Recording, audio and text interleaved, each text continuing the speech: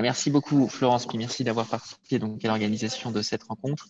Et merci à toutes et à tous euh, pour votre présence euh, ce soir. Vous êtes une cinquantaine à être inscrits, il y a plus d'une trentaine de personnes euh, présentes, donc c'est un vrai plaisir de, de vous retrouver. Hein. J'espère que vous allez bien ensuite, et puis de vous retrouver pour échanger sur ces sujets d'organisation territoriale qui nous intéressent toutes et tous, et de voir comment, derrière cette organisation, eh bien, nous pouvons améliorer, bien entendu, le fonctionnement de nos politiques publiques et puis renforcer aussi euh, le fonctionnement, bien entendu, de notre démocratie, de leur acceptation. Je pense que c'est de cela dont, nous parlons.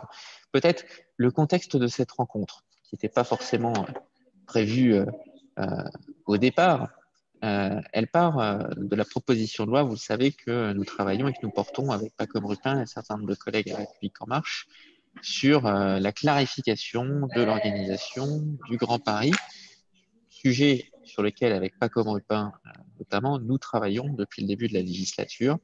Euh, nous avions un peu abandonné euh, ce travail et nous l'avons repris, notamment cet été suite à l'élection, à la réélection de Patrick Collier à la présidence de, la métropole. En raison de la personne même de Patrick Collier, mais du déroulé de cette élection. Et puis ensuite, suite au débat budgétaire qui s'est déroulé douloureusement, comme toutes les années, avec une rivalité entre la métropole et, euh, ses territoires. Et donc, nous avons pris nos responsabilités et après échange avec un certain nombre de responsables, dont certains que je vois présents. Alors, je, voyais Pierre Mansa euh, qui était parmi nous. Est-ce que Pierre, tu es bien parmi nous? Je le voyais sur mon écran. Euh, j'ai cru voir en tout cas Pierre, avec qui nous avions beaucoup échangé euh, sur, euh, sur ce texte en particulier. Peut-être que d'autres parmi vous sont, sont, là aussi dans la, euh, dans la salle de visioconférence ce soir.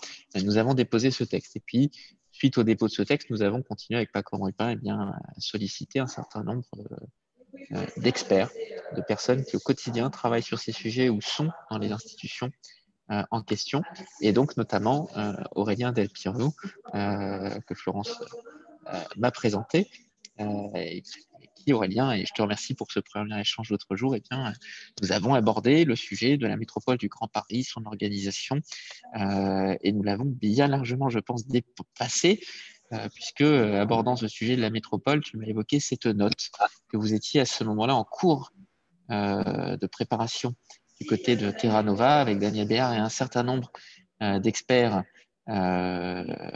reconnus sur le sujet de la décentralisation. Au passage, je te le dis notamment Laurence Lemouzy, qui était mon ancienne professeure à l'ISMAP, euh, avec qui j'ai pu échanger depuis euh, dessus. Euh, et donc, tu m'as évoqué cette note qui était en cours de préparation sur, je crois, l'amélioration. Si je voudrais tenir ce thème, j'ai pu voir Daniel Béard utiliser l'autre jour, l'amélioration de notre décentralisation, et avec deux idées, deux idées fortes, le couple que j'ai retenu, enfin, le couple région-département, le couple euh, intercommunalité commune euh, de l'autre, avec l'ambition de mettre, de renforcer le pouvoir politique euh, au niveau de l'intercommunalité.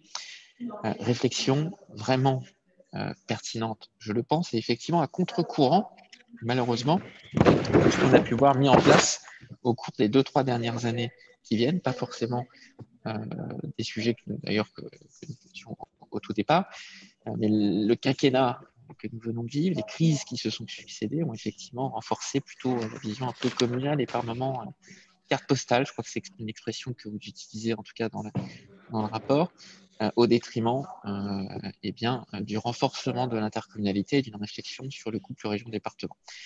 et vous avez effectivement, eh bien, je pense, le courage et la pertinence de remettre maintenant dans le débat public ces propositions. Je te laisserai dans, les, dans quelques instants euh, bien entendu, euh, nous les présenter euh, Aurélien. proposition faite à un moment qui plus est bienvenu, puisque nous sommes dans le temps de la préparation 1 de la loi 4D. Et donc, eh bien, il viendra au gouvernement et puis à la majorité de voir si nous pouvons avancer sur les propositions que vous, vous poussez. Et puis deux, aussi dans un temps de préparation de la prochaine élection présidentielle. Donc, je ne doute pas que les éléments que vous mettez dans le débat euh, susciteront le débat. En tout cas, il doit susciter le débat et moi j'appuierai pour qu'il euh, suscite le débat et plus que susciter le débat, voir si nous pouvons reprendre cette direction euh, au niveau de la construction de notre décentralisation. Voilà, j'ai déjà été un tout petit peu trop long et Aurélien, je vais te céder la parole peut-être pour nous présenter eh bien, les grandes lignes de ce rapport que vous venez juste de présenter à la Fondation de Terra Nova et qui, je le redis, moi m'ont fait du bien en les lisant. Euh, et ça, nous pourrons débattre les uns les autres, voir quelle est votre perception euh, du sujet et de ces propositions, euh, mais qui sont importantes dans qui plus est dans le moment que nous vivons sur l'organisation, sur la réflexion portée sur l'organisation de nos territoires. Voilà, et sur ce, vous avez Aurélien, je te cède la parole. Les agences de papa Merci beaucoup. Je vais essayer de partager mon écran.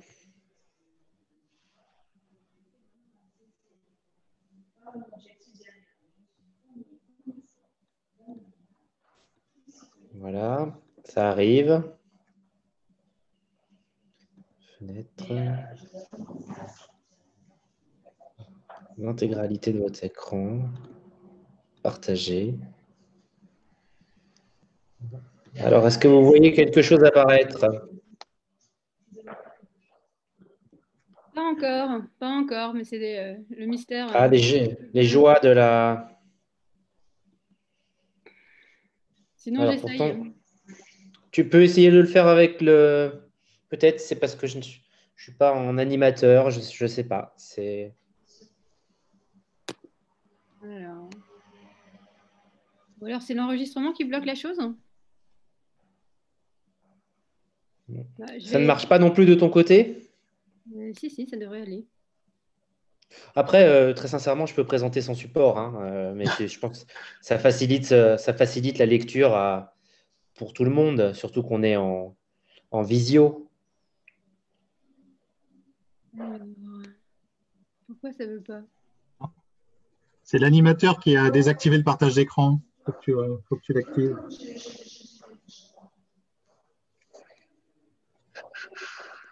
Alors. Je te laisse commencer et euh, j'essaie de trouver la solution, d'accord? Ouais. Alors, plusieurs participants. Je fais une dernière tentative.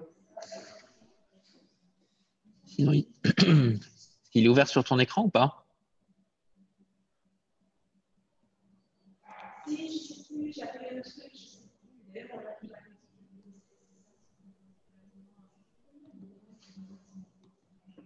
Bon, écoutez. En effet, je vais laisser euh, Florence. Je suis désolé. Hein, euh. j'ai l'impression. Superbe. Merci beaucoup. Alors, euh, on y va. Merci à tous. Je remercie bien sûr Guillaume. ce ne sont pas des politesses vaines. Hein. moi, je n'ai pas d'engagement partisan, donc je le dis d'autant plus sincèrement pour deux raisons. La première, c'est qu'il prend à bras le corps un sujet euh, qui est un peu euh, qui a été un petit peu oublié, négligé dans l'agenda politique depuis trois ans, qui est celui du Grand Paris. Et la deuxième, c'est que je l'ai rencontré, il a été dans une posture d'écoute, de dialogue vis-à-vis euh, de l'expertise académique. J'ai rencontré beaucoup d'élus, maires, députés. c'est loin d'être le cas de manière fréquente.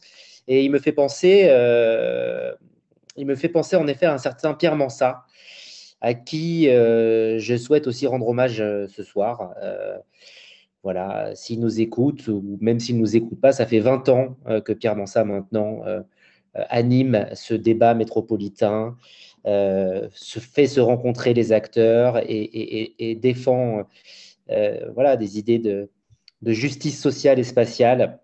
Donc un, bonjour chaleureux à lui. Merci beaucoup aussi à Florence pour euh, l'organisation de cette manifestation, la logistique, à Daniel Béard et à tous les autres membres euh, du euh, groupe de travail Terra Nova qui nous ont beaucoup aidés.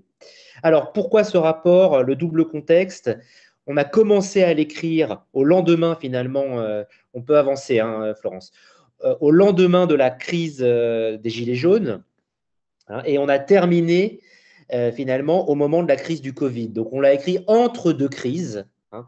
Donc, naturellement, l'évolution de, notre réflexion euh, a été influencée euh, par, ces deux crises. Et pourtant, de notre point de vue, on a pu euh, tisser un fil rouge. C'est ce qu'on a appelé l'effet réactionnaire territorial. aussi bien dans le cas des Gilets jaunes que dans celui du Covid. Finalement, le territoire envisagé comme l'espace local, le, retour à la proximité, avec parfois chargé de valeurs idéologiques, un peu nostalgiques, a été euh, présenté comme euh, la solution euh, refuge, hein, comme une valeur refuge dans les médias, dans les discours politiques et plus largement dans le débat public. J'en veux pour preuve que lors de son discours d'investiture, le Premier ministre Jean Castex, qui incarne hein, à bien des titres cette France dite des territoires, a utilisé à 34 reprises le mot territoire pour fixer le cap de sa politique euh, pour la suite euh, du quinquennat. Euh, ceci dit, en matière territoriale, on ne peut pas dire, on pourra en discuter si vous le souhaitez, mais que nous avons eu une actualité extrêmement chargée depuis le, début du, quinquennat d'Emmanuel Macron. La loi 4D, enfin 3D puis 4D est annoncée depuis longtemps. Certains pensent encore qu'il s'agit d'un mirage, qu'elle n'aboutira pas. Euh, le thème euh, central euh, de la réorganisation institutionnelle du Grand Paris a été lui aussi très largement écarté hein, du débat public et politique. Et j'allais dire, même la crise du Covid, finalement, n'a pas tant suscité de réactions, de réflexions, d'interprétations poussées sur euh, les dysfonctionnements de notre euh, structure territoriale et de son, et, de son organisation, euh, à l'exception des critiques classiques des collectivités territoriales à l'encontre de l'État et réciproquement de l'État à l'encontre des collectivités territoriales. Quand on voit que finalement, pour gérer cette crise, on a réactivé un binôme que vous connaissez bien, qui est le binôme maire-préfet, mais qui est en fait le binôme de la Troisième République, en réalité, hein, euh, celui de la France euh, du début du XXe siècle, on peut euh, finalement situer le manque d'ambition en matière de réflexion territoriale qui caractérise l'ensemble du débat public aujourd'hui. Alors, le groupe de travail, je ne vais évidemment pas m'attarder dessus. je vous laisserai à disposition le PowerPoint. C'est juste pour vous rappeler deux choses on dit souvent euh, euh, Terra Nova, c'est techno. Alors oui, c'est un think tank, bien sûr, qui idéologiquement est plutôt ancré, on va dire, dans un, réformisme de gauche modéré.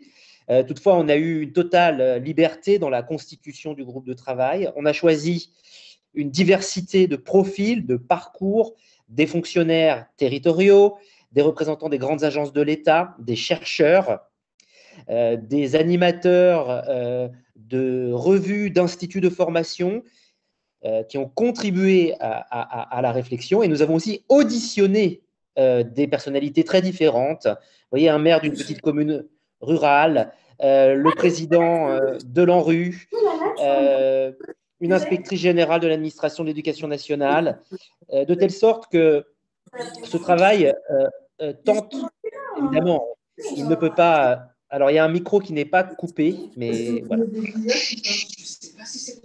Le, le, groupe de travail n'est pas un groupe de techno, c'est un groupe d'interface entre chercheurs, élus, euh, experts et fonctionnaires territoriaux. Euh, deuxième chose qu'on nous dit, et ce sont les premières réactions, quelque part on les a cherchées un peu, on nous dit euh, c'est un travail qui est iconoclaste. Alors je reviendrai sur ce point. Euh, en réalité, et, je vous le montrerai, c'est un rapport euh, qui certes se veut en rupture avec un certain nombre de pratiques, mais qui est ancré dans des expériences concrètes qui aujourd'hui euh, sont menées dans les territoires.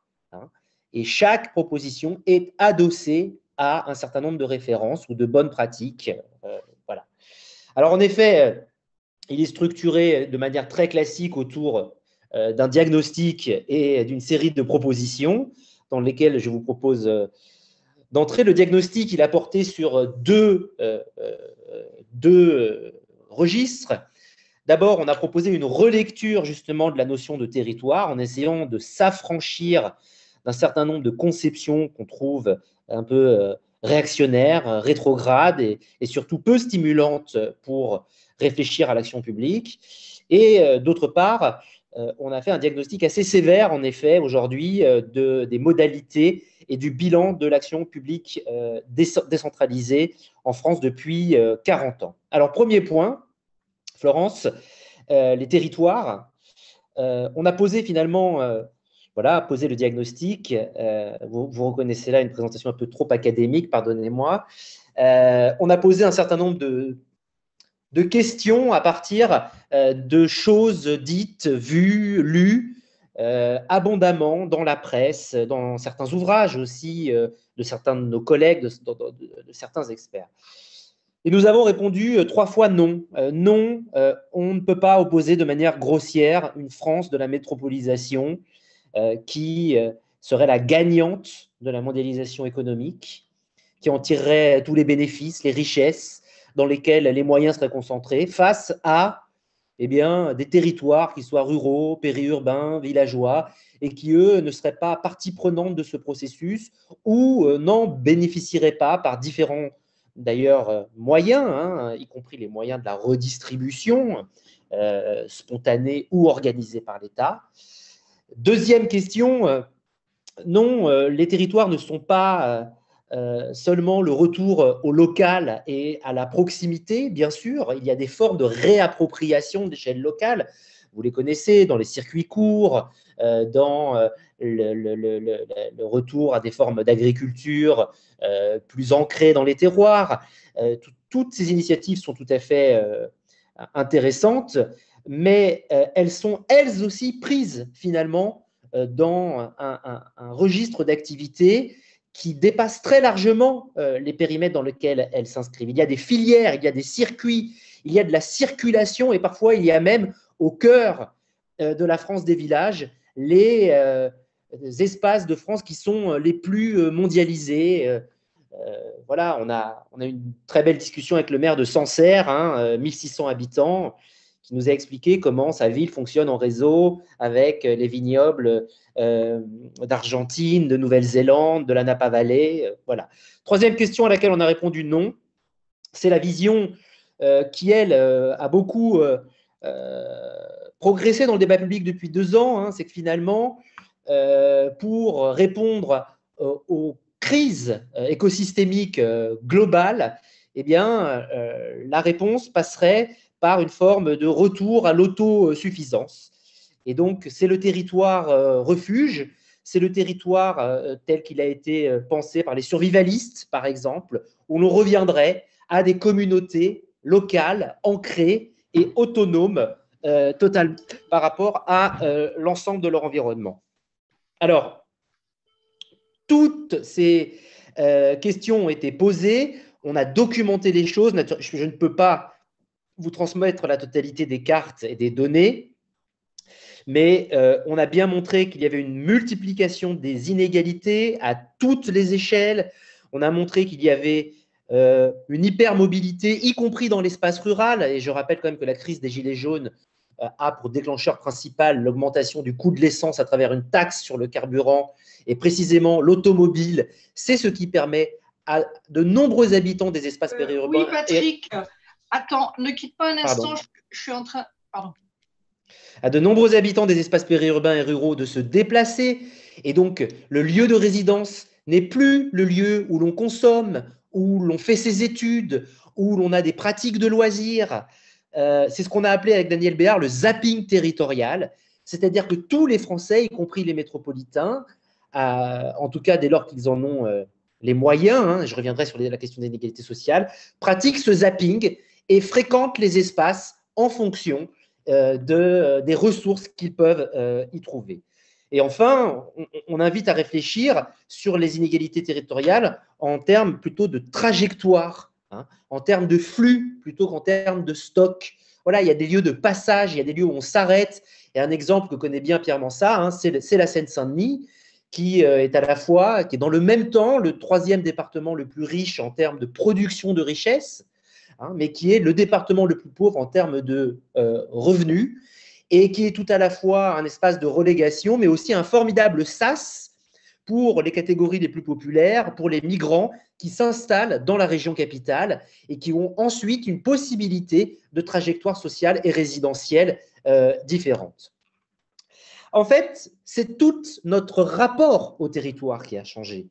Hein, le vieil adage français, dis-moi où tu habites et je te dirai qui tu es, on doit prendre acte que cet adage est périmé. On doit prendre acte que nous sommes dans une société mobile, une société du zapping, et force est de constater que malheureusement, euh, euh, les réponses qui ont été apportées par l'action publique depuis 40 ans, bien sûr, elles ne sont certainement pas toutes à, jeter. Hein. Il y a eu beaucoup d'efforts, de réflexions, d'évolutions législatives, mais elles ne permettent pas de répondre à cette nouvelle donne euh, territoriale.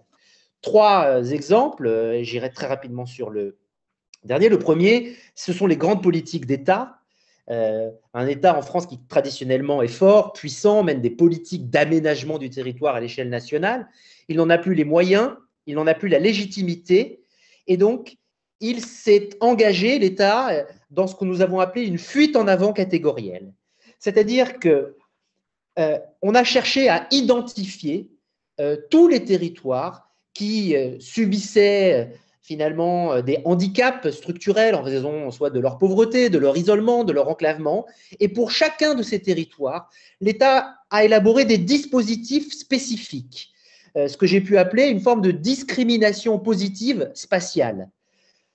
Le problème, c'est que ces zonages sont sans fin. Ils ont entraîné, on l'a vu très bien au cours des 20 dernières années, une concurrence.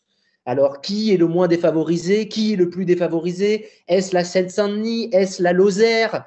Où doit porter euh, l'investissement public? Et de périmètre en périmètre, nous avons aujourd'hui des programmes sectoriels pour la politique de la ville, les villes moyennes, les petites villes de demain, les bourgs, les zones rurales, les quartiers prioritaires, ils s'empilent les uns après les autres et on perd bien sûr du sens, on perd de la cohérence, on perd de l'efficacité en matière de politique publique.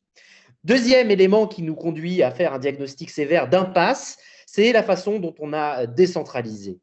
La décentralisation, il, y a 40 ans, c'était, euh, euh, elle a été imparfaite, inachevée, elle a été en partie captée par des grands élus, mais c'était une promesse de modernisation dans une France qui était restée archaïque. Je rappelle que les courants qui sont à l'origine de la pensée décentralisatrice, hein, c'est euh, Michel Rocard autour du PSU, la CFDT, euh, c'était vraiment euh, l'idée de transformer aussi la façon de gouverner la France. Eh bien, malheureusement, à partir des années 90 et surtout 2000 et 2010, la décentralisation a suivi ce que nous avons appelé une forme de taylorisme institutionnel, c'est-à-dire une répartition rigide et étanche de compétences à chaque échelon territorial. C'est une forme de tronçonnage dont la loi NOTRe euh, de 2015 est à la fois, euh, j'allais dire, l'aboutissement et, nous l'espérons, euh, le champ du cygne, tant elle est arrivée à hyper spécialiser et donc à hyper techniciser les registres de compétences des collectivités territoriales. Chacun, dans votre expérience personnelle, vous avez été confronté à des situations parfois ubuesques, parfois euh, dramatiques, de concurrence, de rivalité, de doublons. Vous connaissez la situation des transports qui sont divisés entre transports scolaires, régionaux, interurbains, intraurbains, la, situation de l'éducation, la commune pour euh, l'école, le collège pour euh, le département, sans aucune vision de ce que peut être un système éducatif à l'échelle territoriale. Et je dois dire que la crise de la Covid nous a confortés dans ce diagnostic. Pourquoi? Parce qu'on euh, peut toujours accuser, accuser l'État, mais les collectivités, comme vous le savez, se sont livrées dans une surenchère de commandes de masques, hein, sans aucune coordination, euh, au, risque de, finalement de désajuster totalement euh, l'offre et la demande. Enfin, le bloc local, je sais, je, fais au plus vite, le bloc local qui incarne finalement encore un peu aux yeux des Français euh, l'efficacité et la légitimité de l'action publique à travers la figure du maire, eh bien, nous considérons que le bloc local n'est pas épargné par cette remise en question. Et naturellement, c'est un élément que je mets au débat hein, pour euh, notre réflexion sur le Grand Paris. Pourquoi?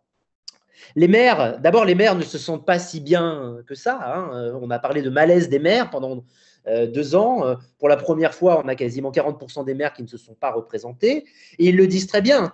ils le disent, qu'ils se sentent dessaisis de leur pouvoir d'agir, qu'ils sentent que la compétence d'exercice des politiques publiques est aujourd'hui très largement à l'échelle intercommunale, et donc ils ont du mal à euh, finalement situer leurs fonctions dans ces nouveaux assemblages. Par ailleurs, il y a aussi une désaffection démocratique absolument considérable et les taux d'abstention aux élections municipales font qu'on a aujourd'hui des maires qui sont élus parfois avec 8 à 10 euh, par 8 à 10 de la population résidente. Enfin, bien sûr, je parle de résidents, mais dans le Grand Paris encore plus qu'ailleurs, les utilisateurs d'une commune ne sont pas seulement les résidents, ce sont aussi les usagers qui consomment, qui travaillent. Et donc, euh, la légitimité démocratique électorale du maire, euh, qui est fondée sur l'ancrage résidentiel, se heurte justement à euh, cette multiplicité des ancrages, des appartenances. Avec Daniel Béard, nous rappelons qu'en moyenne, dans une ville du Grand Paris de 20 000 habitants, eh bien, c'est 40 à 50% de la population qui est renouvelée en six ans, c'est-à-dire lors de chaque mandat municipal, de telle sorte qu'on peut se demander qui représente les maires aujourd'hui. Alors, sur la base de ce constat, des propositions, euh, je vous, propose de, vous euh, donner juste quelques principes de lecture et après de les afficher euh, voilà, après de les afficher, euh, parce que c'est un petit peu indigeste, hein, je ne vais peut-être pas toutes euh, les expliciter, on pourra s'arrêter dessus.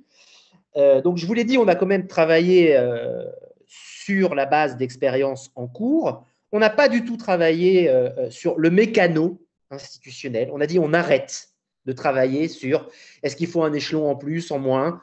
voilà. Alors, bon, dans le Grand Paris, pour le coup, il y en a peut-être quand même un en trop euh, Guillaume y reviendra tout à l'heure.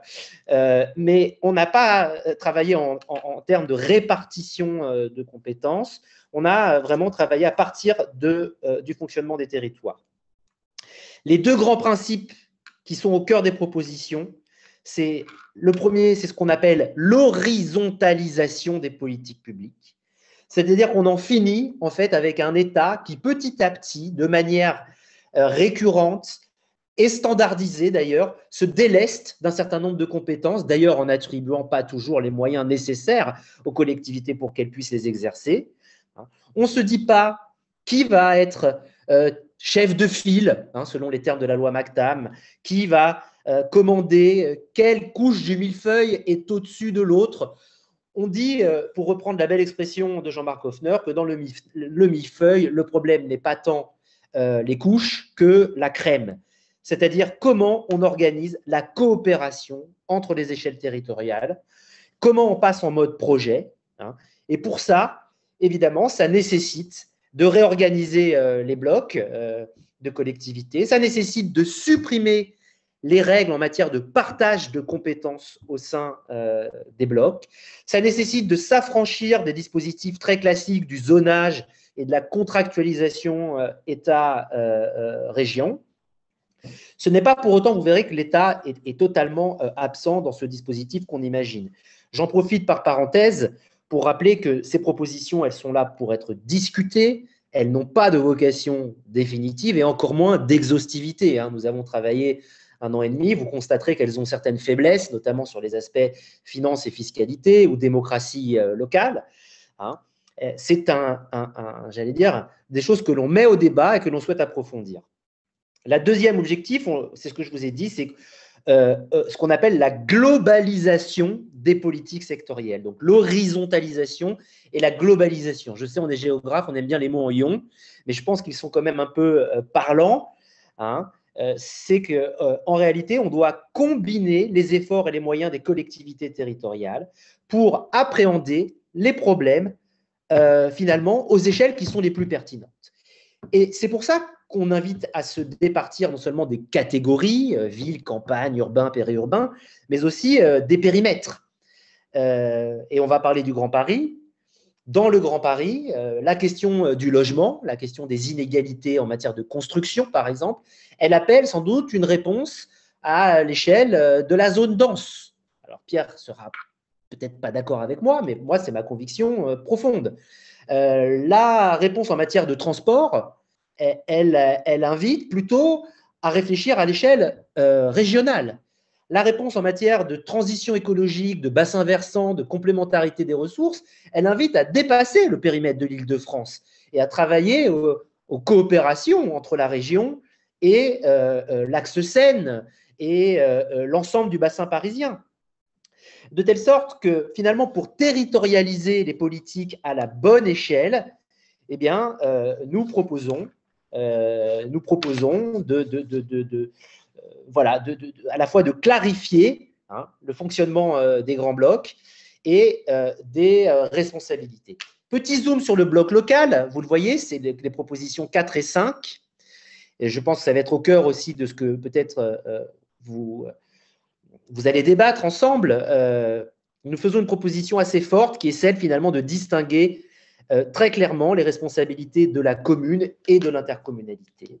Aujourd'hui, l'exercice des compétences et donc la capacité à produire des politiques publiques, c'est clairement le niveau intercommunal. C'est vrai dans l'espace rural, c'est vrai dans les grandes métropoles. Ce n'est pas pour ça que le niveau communal, qui reste un cadre, un cadre de référence pour la socialisation, pour l'école des enfants, pour le cadre de vie, évidemment, doit être euh, abandonné. Mais en termes de production de politiques publiques, nous proposons de la dépasser. Et euh, de ce point de vue-là, finalement, de reconfigurer totalement la fonction du maire hein, euh, au profit de ce qui ressemble un peu aujourd'hui au maire d'arrondissement à Paris. Euh, alors, d'ailleurs, certains se saisissent de cette fonction plus ou moins bien, c'est-à-dire une personne qui assure la prise de terre des politiques intercommunales, qui permettent de faire remonter aussi ce qui vient de sa commune, d'animer la démocratie locale, la vie associative. donc, c'est une vraie fonction politique, pour le coup, même si on abandonne en quelque sorte la figure du maire bâtisseur qui va laisser sa trace, son héritage à travers telle réalisation, tel projet, tel grand euh, équipement euh, public. Cela implique bien sûr de changer les modalités euh, électorales et de fonctionnement des intercommunalités, à minima l'élection au suffrage universel direct des conseillers intercommunaux, nous proposons aussi finalement de mieux distinguer dans l'interco pour éviter le, phénomène de club, hein, qui a été très bien décrit par des collègues, où l'on se met d'accord en petits comités entre maires, de mieux distinguer les organes délibératifs, conseil intercommunal, d'un organe exécutif, hein, qui pourrait être un conseil métropolitain exécutif, euh, tel que, par exemple, c'est expérimenté aujourd'hui en Corse. Florence, tu peux avancer. Euh, la dernière diapo, hein, je vous rassure. Euh, alors, finalement, euh, on pourrait dire quid de, de, l'État dans ce, nouveau système où on privilégie les agencements territoriaux, la coopération, l'horizontalisation? Eh bien, en réalité, on considère que l'État a encore un, un, un, rôle à jouer absolument majeur. D'abord, bien sûr, il fixe la loi, hein, l'État en France, il fixe le cadre, il peut fixer aussi des grands objectifs en matière euh, de transition écologique, en matière de réduction des inégalités. J'ai peu parlé de cet aspect, mais nous croyons peu, après avoir écouté beaucoup de spécialistes, aux capacités de redistribution et de péréquation entre collectivités, pour une raison simple, c'est que les assiettes, les assiettes fiscales et donc les euh, moyens d'action en, termes de redistribution sont infiniment euh, plus faibles que celles dont dispose l'État. Et donc les grandes inégalités en matière de dotation, d'équipement, etc., nous considérons qu'elles relèvent de la responsabilité de l'État et qu'aujourd'hui, le droit commun suffit à y répondre. Et d'ailleurs, les élus de Seine-Saint-Denis sont tout à fait sur cette, sur cette ligne-là. Hein. Il demande simplement de faire respecter le droit commun. Euh, en revanche, l'État peut conditionner son aide, l'apport de son ingénierie, de ses agences, l'ANRU, la NCT, au fait que les euh, euh, projets portés par les collectivités soient l'objet d'une coopération. C'est une forme de duty to cooperate, telle qu'il existe dans les pays anglo-saxons et également en Allemagne, hein, où un consensus doit être obtenu au niveau du, lender pour pouvoir obtenir des financements de l'État fédéral. donc, si en quelque sorte on recentre l'État sur ses grandes fonctions régaliennes, hein, qui sont celles d'assurer la justice spatiale, ça passe bien sûr aussi, vous le voyez, par garantir un, panier de services publics, avoir une cour d'équité territoriale qui eh bien, documente et impose la correction des grands déséquilibres, alors il a, son rôle à jouer euh, finalement. Mais ceci dit, vous voyez qu'on n'est ni dans plus ni dans moins de décentralisation, et j'en termine vraiment sur ce point. Nous euh, faisons le pari que les collectivités peuvent se responsabiliser. Bien sûr qu'il y aura des obstacles. Vous allez être les premiers à, me les mettre, euh, à les mettre euh, sur le devant de la scène. Il y aura des obstacles notamment liés aux conflits partisans, hein, à l'exercice des mandats politiques, à des résistances constitutionnelles. Euh, mais nous faisons le, pari de la responsabilisation des collectivités pour affronter les deux grands défis du siècle. Hein, voilà, la transition socio-environnementale et la réduction des inégalités scolaire, social, etc. Et nous demandons euh, à l'État de jouer son rôle en fixant un cadre et finalement en faisant appliquer les règles du jeu. Donc c'est ni plus ni moins de décentralisation, mais c'est mieux décentraliser pour améliorer l'efficacité de nos politiques publiques. Je vous remercie pour votre attention. Merci euh, Aurélien pour euh, cette première présentation.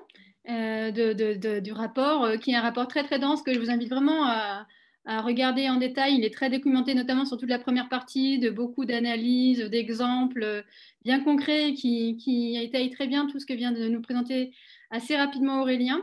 Est-ce que certaines d'entre vous veulent poser des questions sur, de manière générale sur le rapport de Terra Nova Est-ce que Guillaume veut réagir petite réaction, j'espère que vous m'entendez bien, parce que là, pour le coup, je suis dans l'hémicycle. Euh, peut-être une première, vous m'entendez bien ou pas? Il y a un peu de bruit peut-être autour. Euh, Aurélien, deux questions. Si, si, ça va, euh, ça va.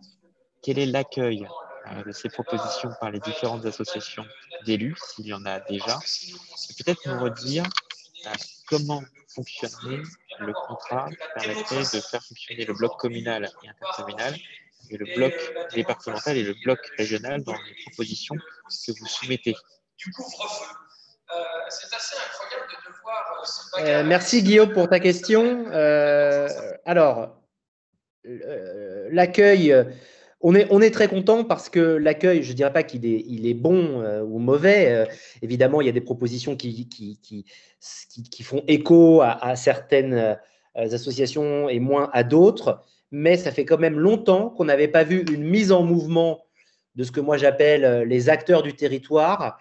Euh, l'accueil a été excellent du côté de la DCF, hein, bien sûr, et aussi de l'ADGCF, l'Association des cadres territoriaux, euh, du côté de France Urbaine, du côté des agences d'urbanisme, de manière peut-être plus inattendue, l'Association des régions de France, nous a invités à échanger pour euh, qu'on puisse préciser, et donc ça renvoie aussi à ta deuxième question, le rôle finalement que pourraient jouer les régions dans ces nouveaux agencements.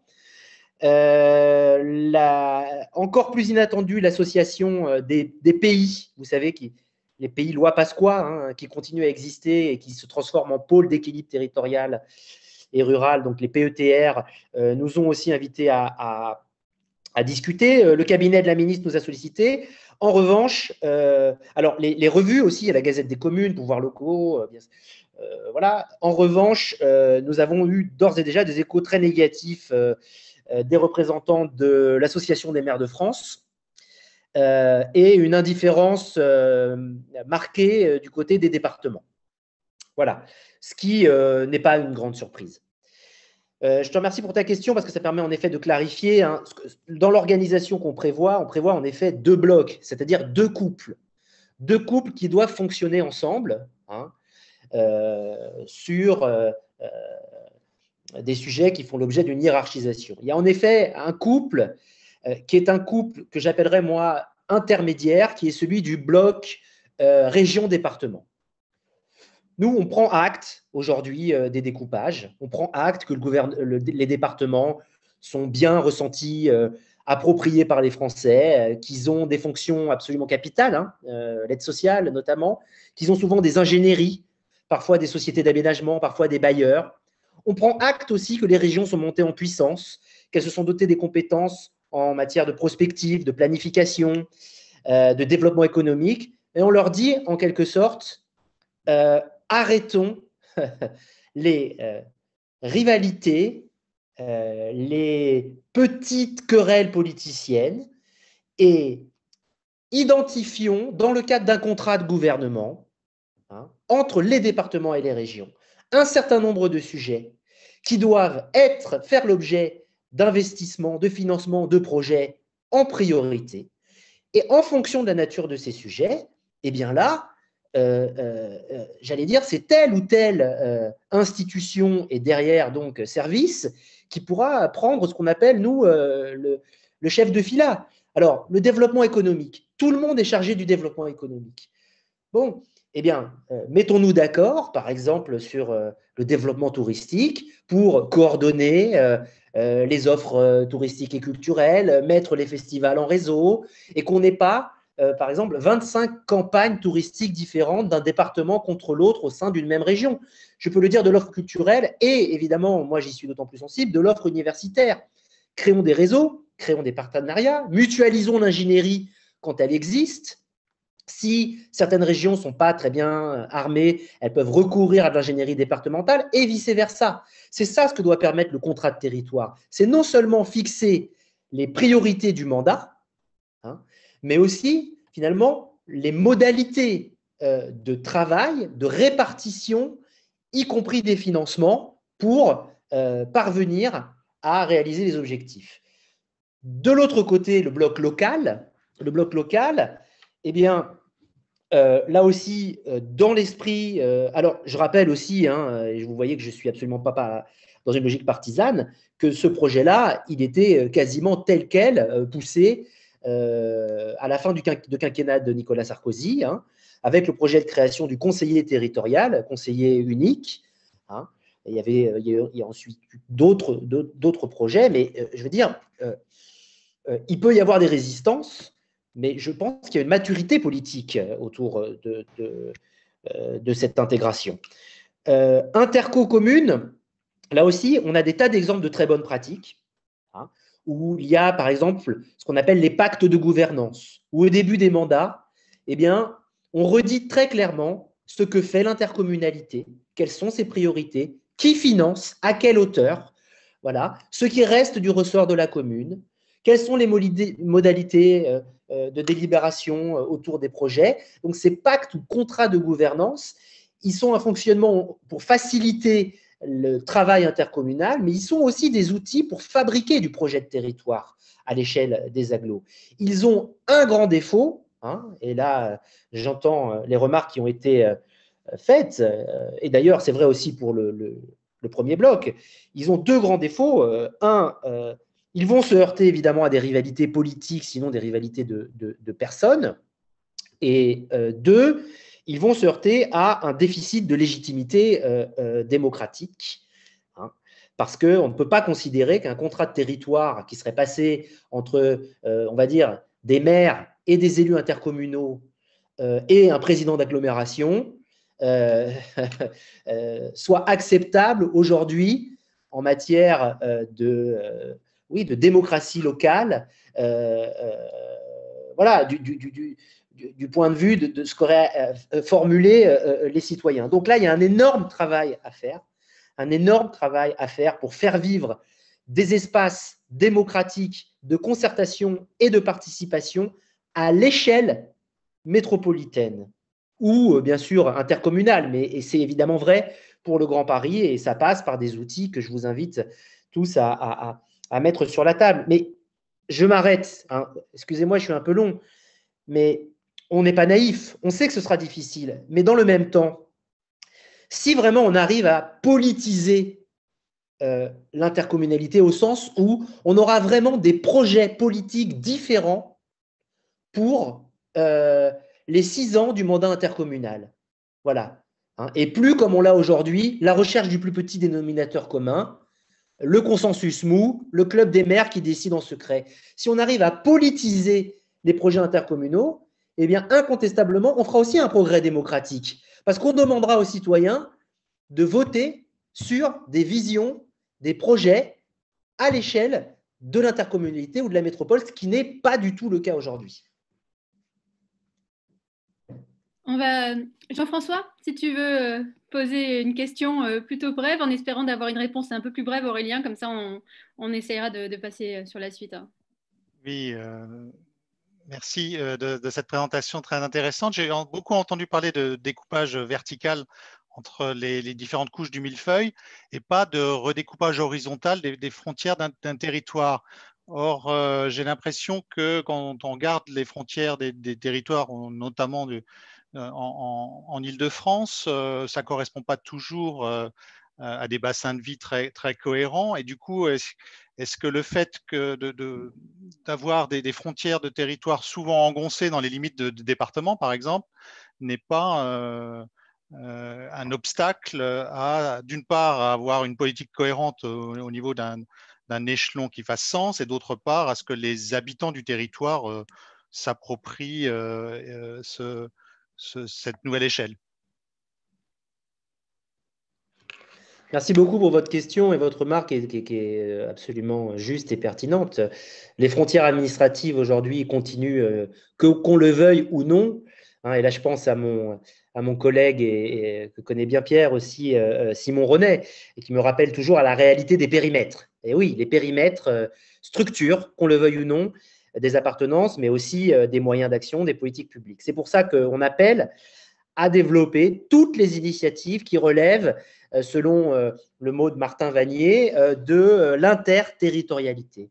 Ou moi, je préfère plutôt la transterritorialité. Alors, on ne va pas faire entrer dans le champ lexical, mais on a des exemples en France où, oui, des communes qui n'appartiennent ni au même département, ni à la même région, ni au même canton, arrivent à faire du projet euh, ensemble, avec euh, des structures qui sont fluides, en effet, qui ne sont pas institutionnalisées, mais justement avec des modes de, contractualisation. Et euh, ce que vous dites est tout à fait juste. on n'arrivera pas à enfermer les problèmes, chaque problème, dans tel périmètre. Hein.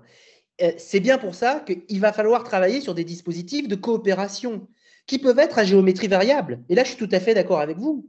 Euh, c'est pour ça que moi, quand je parle de la métropole du Grand Paris, et comme ça, peut-être je fais une transition hein, pour la suite, euh, si vous voulez, euh, le périmètre de la métropole, on me dit, il n'a pas de sens, il est à la fois trop grand, trop petit.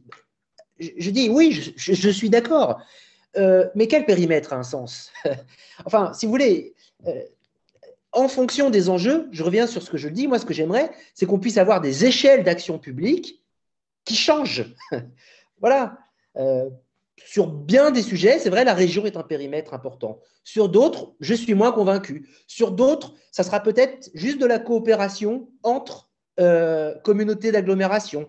Donc voilà, si on peut se donner le droit d'expérimenter, et ça sera vraiment mon dernier point, parce que je ne pense en aucun cas qu'on va pouvoir mettre en œuvre toutes ces réformes maintenant, en même temps, sur tous les types de territoires on a des territoires qui sont beaucoup plus mûrs. Hein. La Bretagne, si vous regardez ce que fait la Bretagne, contrat de réciprocité, euh, dispositif de péréquation, euh, solidarité entre Brest et l'arrière-pays, euh, ils sont, ils sont à la pointe.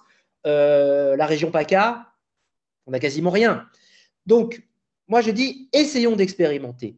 Donnons un droit à l'expérimentation, c'est quand même le quatrième D de différenciation, hein, qui soit un vrai droit à l'expérimentation territoriale, et y compris, par exemple, à l'interterritorialité, à de nouvelles formes de contractualisation. Et s'il y a bien une région où on devrait, droit, on devrait avoir droit à l'expérimentation, c'est la région métropolitaine de Paris.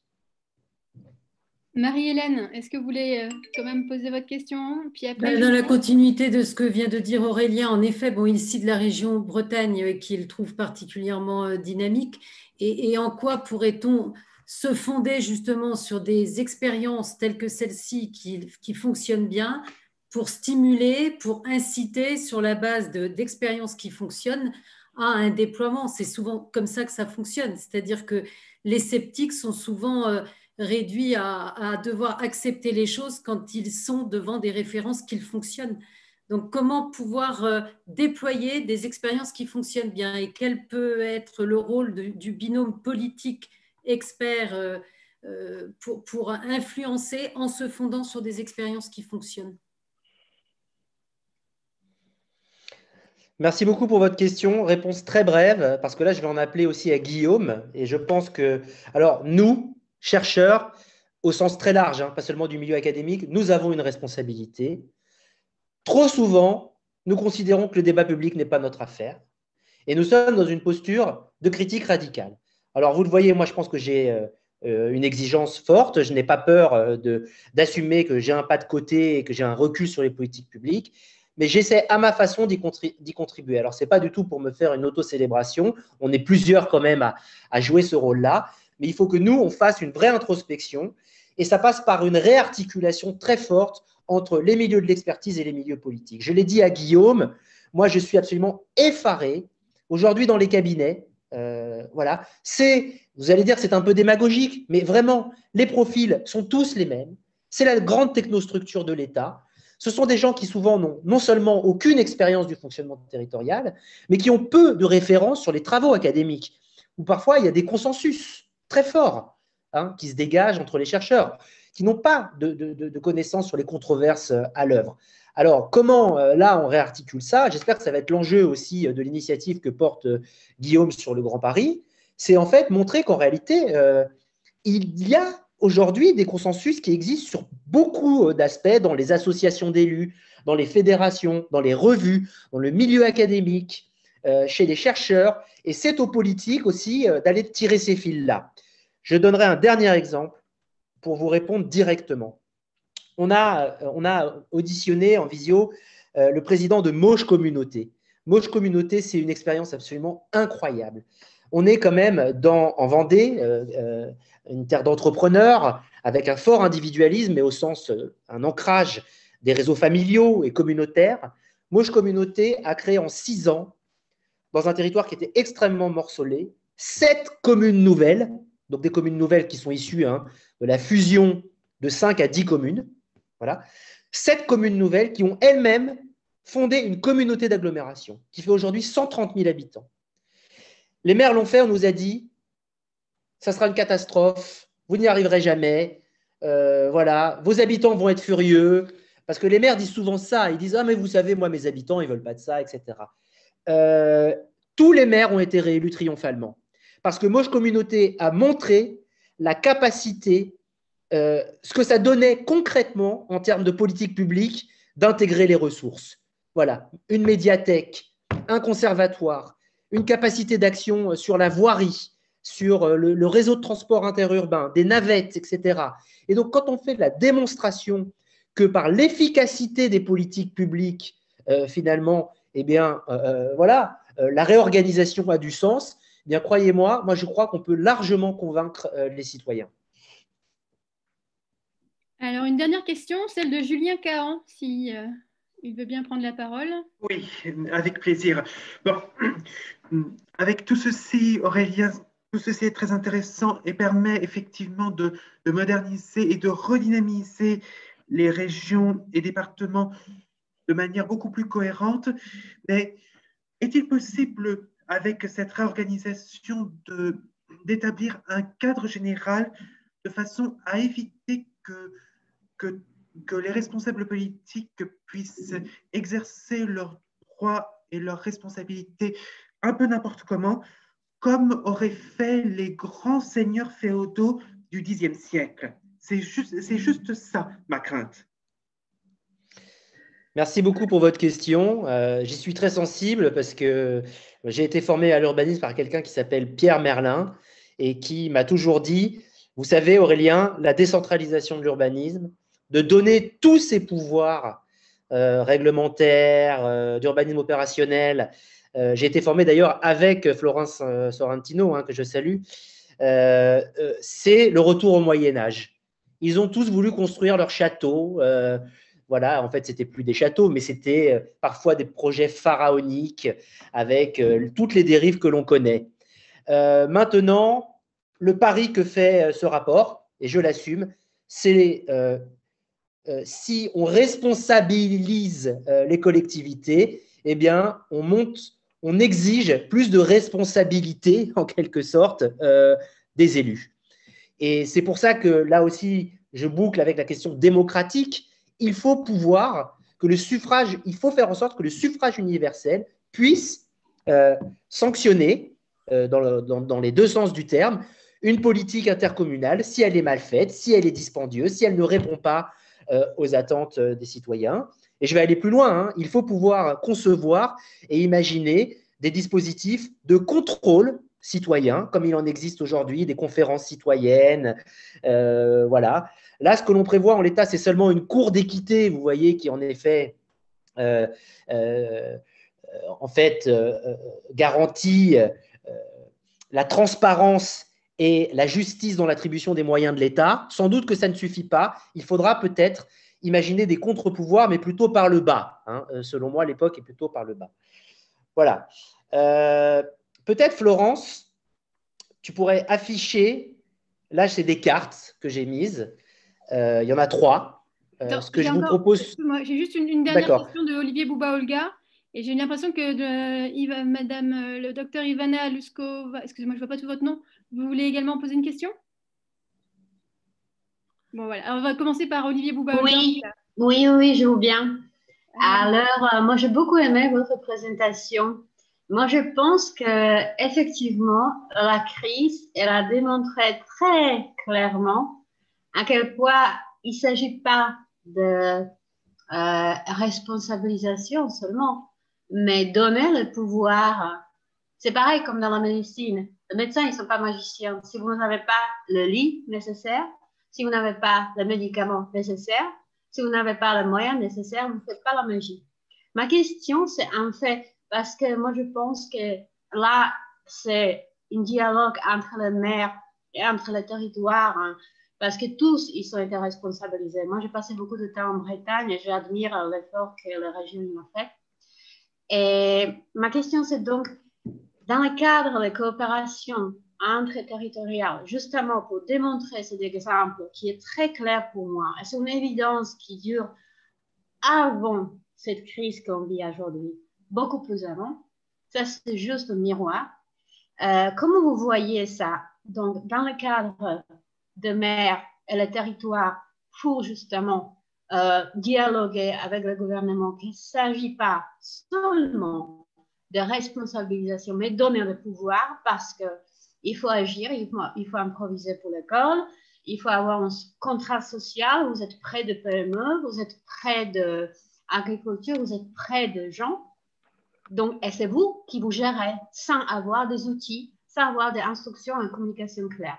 Donc ça, un, au niveau de maire, au niveau de territoire, comment vous allez présenter vos propositions et aussi au niveau plutôt international. Je travaille beaucoup avec l'international et je sais à quel point c'est important aujourd'hui. C'est situé pas seulement dans le cadre français, mais dans le cadre européen et dehors Europe. Et là, euh, on ne parle pas que de médicaments, vous voyez très bien à quel point nos, capacités de euh, recherche, de fabrication, de préparation et de coopération pour la future, pour la future verte, euh, pour la coopération énergétique. Et euh, disons que refondement ce certain contrat social, je, je souligne cela, est important. Donc moi, je pense que là, la force, c'est agir ensemble avec ceux qui sont été en première ligne, euh, maire, responsable de territoire. Donc, qu'est-ce que vous en pensez de ceci? Euh, merci beaucoup. Je vais vraiment répondre très rapidement parce que je voudrais quand même entendre Guillaume et, pouvoir articuler. Je sais qu'il est très poli et il est à l'écoute des chercheurs, mais euh, je voudrais quand même pouvoir l'entendre sur la façon dont ça fait écho aux enjeux du Grand Paris. Je dirais donc deux choses. Vous avez tout à fait raison sur le, finalement le contrat de confiance qui est passé avec les, les, élus. Et l'enjeu pour nous, dans la communication de ce rapport, c'est de dire que ce n'est absolument pas un rapport contre les élus. Il ne s'agit pas de les dessaisir euh, d'un certain nombre de, pouvoirs, mais plutôt de les mettre en responsabilité sur euh, des sujets euh, qui sont identifiés. La deuxième chose, l'international, c'est extrêmement intéressant. On a pris beaucoup de bonnes pratiques à l'étranger. et j'allais dire, la France est en retard Hein, en matière de coopération territoriale, hein, y compris par rapport à des pays qu'on sous-estime un petit peu comme, comme l'Italie, mais euh, les échanges de bonnes pratiques entre régions, euh, voilà. La France, je vous le rappelle, c'est 35 000 communes, c'est-à-dire c'est la moitié des communes de toute l'Union européenne. Et donc, bien sûr que cette fragmentation extrême complique aujourd'hui le, fonctionnement territorial. Donc, chaque pays a sa culture et son identité, certes, mais euh, il est important aussi de s'inspirer des bonnes pratiques européennes. Oui, exactement ce que je pense. Merci pour votre réponse, mais c'est court, mais c'est exactement ce que je voulais souligner. Je pense qu'on est sur la même page. Alors, euh, Aurélien, on va juste prendre très rapidement euh, la question d'Olivier Bouba-Olga, si, si tu veux bien, dans la mesure où il y a un problème dans l'hémicycle. Hein, donc, euh, D'accord. On peut, prendre, on peut prendre les dernières questions. Je n'avais pas le choix, désolé, mais de, de suspendre, enfin, de vous demander 5 euh, à 10 minutes de patience, euh, le temps qu'on vote. Pas de souci. C'est important, c'est l'état sur l'état d'urgence sanitaire. Très bien. un moment un tout petit peu plus compliqué dans l'hémicycle. Oh, ok, merci. non, dire d'abord, enfin, tu sais, Aurélien, je, je te l'avais déjà dit, hein, enfin, je, trouve vraiment passionnant le travail que vous avez fait. Euh, c'est pour peut-être réagir à, euh, à, certains points. Enfin, sur ce, je partage totalement l'idée euh, de l'importance de sortir des périmètres, de la collaboration, des coopérations, etc. après, je prends ma casquette d'économiste. Parce que pour pousser ça, on, peut attendre que la vertu s'empare de, tous les politiques, ou on peut mettre des systèmes d'incitation. Moi, je crois beaucoup à ça aussi. Donc euh, là, je travaille maintenant à la région Nouvelle-Aquitaine. Mon discours, donc la région Nouvelle-Aquitaine contractualise avec des territoires. Je n'ai de cesse de leur dire, vous, vous versez des aides au territoire, conditionnez le versement des aides à des réflexions sur euh, euh, des, possibilités de collaboration, de coopération, si ça a du sens. ça me semble, ça me et, donc il me semble qu'on on a besoin de mettre en place des systèmes d'incitation à l'échelle nationale pour éviter les concurrences entre les régions, à l'échelle régionale pour éviter les concurrences entre les territoires, et que ça permet plus vite. Parce que si euh, demain on dit euh, aux, EPCI, euh, vous aurez plus d'argent si vous coopérez avec l'EPCI voisine, si ça a du sens, dès demain ils le font.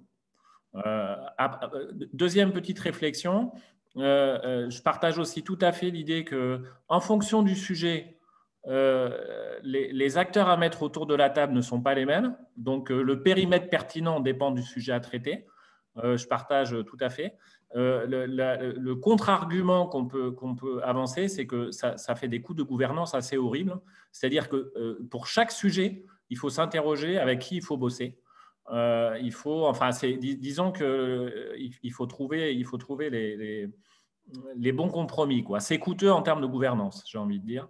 Et puis, dernière réflexion, ma petite expérience depuis que je suis à la région, puis, je regardais ça un peu avant, je m'interroge quand même beaucoup sur la pratique de l'État central, quoi, euh, qui, euh, qui, euh, qui à la fois est dans des discours parfois décentralisateurs, mais qui duplique aussi beaucoup de choses. Enfin, moi, je ne comprends pas, par exemple, il y a assez longtemps maintenant, on considère les régions comme un peu chef de file développement économique. On met en place un plan de relance. À, qui on confie le plan de relance? À des préfets de département. C'est assez mal coordonné avec les régions. On se dit, mais enfin, c'est quoi ce, Ça ne va pas? Ça, ça ne va pas du tout. Donc, euh, euh, euh, il y, a quand même une forte interrogation sur que fait l'État central. Quoi. Pourquoi est-ce qu'il est dans une espèce d'incapacité, effectivement, à la limite de définir des objectifs généraux qu'on pourrait tous partager, mais après de confier les manettes aussi à, des niveaux d'intervention infra qui ont la connaissance terrain aussi, qui, ont déjà, qui font déjà des choses, etc. Alors, je remercie euh, beaucoup euh, Olivier. alors, vous avez l'impression qu'on est dans le monde des bisounours, mais d'habitude, je ne suis pas du tout comme ça, mais ça me touche beaucoup qu'il soit présent, qu'il participe à la réflexion. Et pour le coup, s'il y a, s'il y a bien un chercheur euh, qui essaie euh, de se mobiliser au service de l'action publique, y compris là directement en étant euh, détaché à la région Nouvelle-Aquitaine, c'est Olivier et il a fait Je le dis pour les autres, hein, s'ils ne connaissent pas ses travaux, Olivier Beauvolga, il a fait énormément pour déconstruire le mythe de euh, la compétitivité métropolitaine qui serait le seul horizon indépensable des politiques publiques. Je suis d'accord avec les trois trucs, donc ça va être, ça va être rapide. Euh, conditionné, entièrement d'accord. Certaines agences de l'État commencent à le faire. Donc, quand je dis qu'il y a des signaux faibles, que ça bouge, ben, par exemple, moi, j'ai une très bonne amie qui est numéro 2 de l'ANRU. Elle m'a dit, alors que ça fait 15 ans que l'ANRU, en gros, accorde ses crédits sur la base de critères fixes, rigides, qui sont les mêmes d'un territoire à l'autre, eh bien, l'ANRU accorde maintenant une partie de ses financements en regardant si euh, l'intervention en matière de rénovation urbaine est euh, pensée par l'agglomération à l'échelle de son projet de territoire. Voilà, pour moi, ça, c'est un bon exemple. Euh, on ne donne plus, j'allais dire, de l'argent comme ça. Alors, évidemment, je peux vous donner un contre-exemple archi classique. Hein. Action cœur de ville. on va donner de l'ingénierie et des moyens aux maires des communes centres pour revitaliser une partie euh, de leur euh, centre euh, historique, mais on n'a absolument pas conditionné au fait que on arrêtait par exemple l'étalement urbain ou l'étalement commercial dans les autres communes de l'Interco. On l'a pas fait. Bon. Donc, bon. Donc, ça me conduit au troisième point, c'est que oui, il y a une forme de schizophrénie de l'État. Il y a une forme de schizophrénie totale. voilà. il y a trois ans, cinq ans, la loi NOTRe nous dit le DevEco, chef de file, c'est régions. Et les plans de relance, c'est les départements, enfin avec le préfet. Mais j'ai bien d'autres exemples. Hein.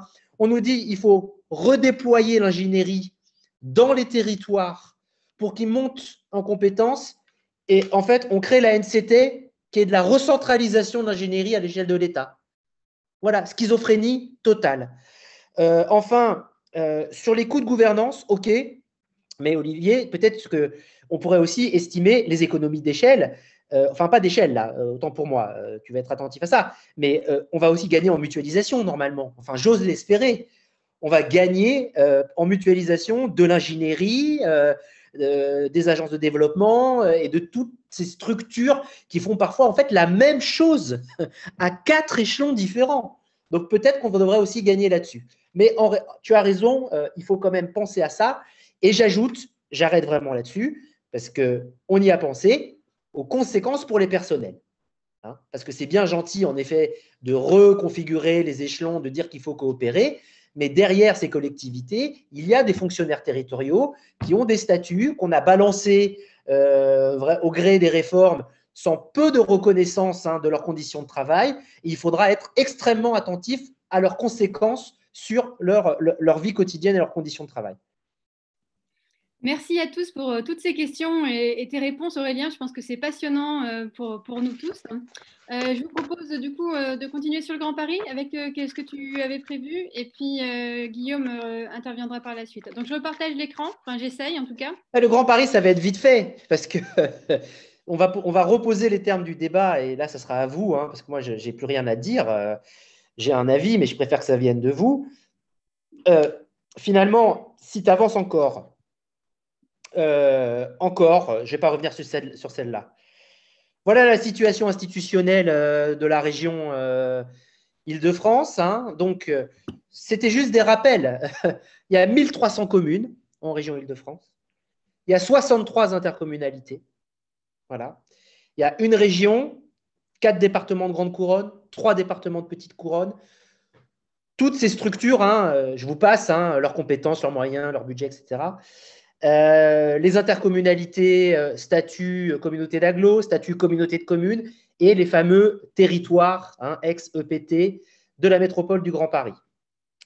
Tout ça, ce, et bien sûr, au milieu de ce, de ce millefeuille, la dernière née qui est la MGP elle-même. Les situations, donc on est évidemment dans une situation très fragmentée.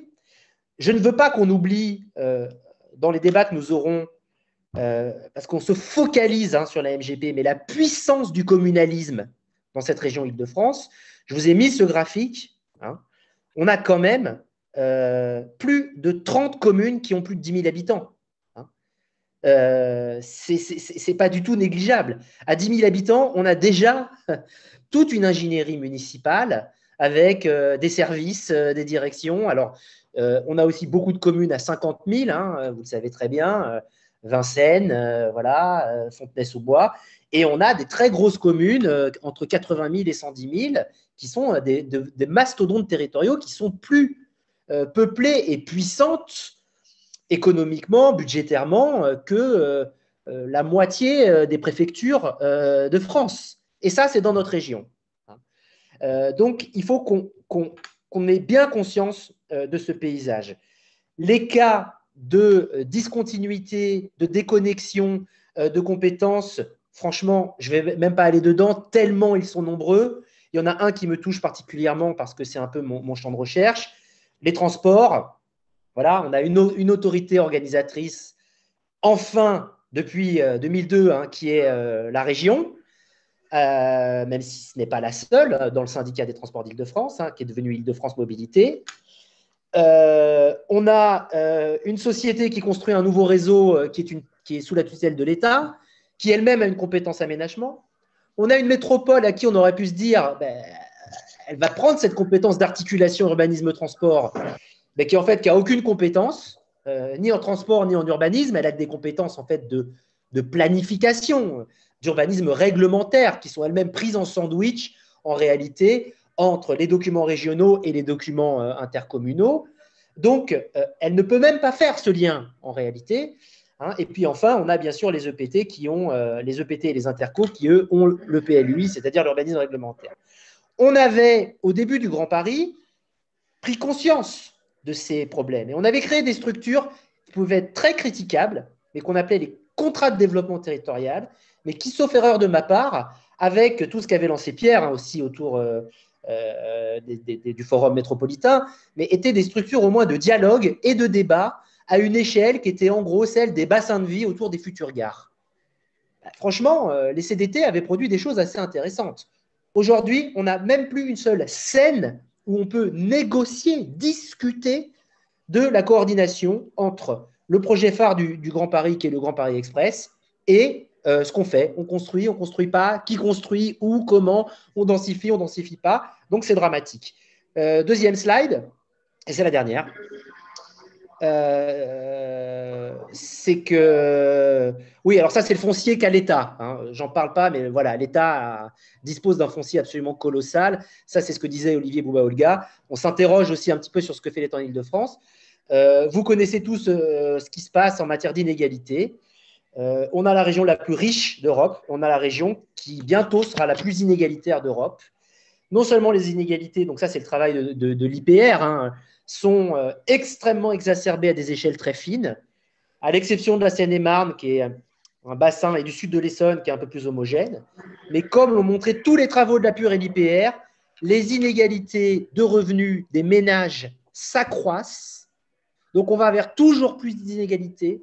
Et les inégalités de ressources entre collectivités, à quelques exceptions près, parce que ce n'est pas toujours pareil, elles aussi contribuent à, s'approfondir. Et euh, alors, j'ai toujours parlé de la Seine-Saint-Denis, là, certes, mais euh, parlons de la Seine-et-Marne. La Seine-et-Marne accueille l'essentiel de la croissance démographique aujourd'hui. Euh, elle se paupérise dans certains endroits et ni le département ni les établissements intercommunaux de cette partie de l'île de France ne sont en capacité de répondre aux enjeux que leur pose très concrètement la métropolisation de leur territoire. Donc, s'il y a bien une région où on est dans une situation d'impasse par rapport aux défis qui sont immenses, c'est l'île de France. Est-ce que la suppression de la MGP suffira?